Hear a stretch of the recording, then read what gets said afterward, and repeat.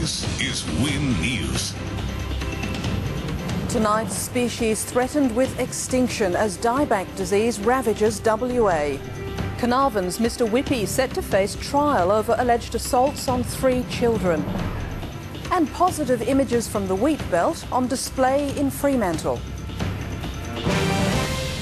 Good evening, I'm Deborah Kennedy. Also tonight, China threatens to boycott WA iron ore and another rise in interest rates to become community leaders.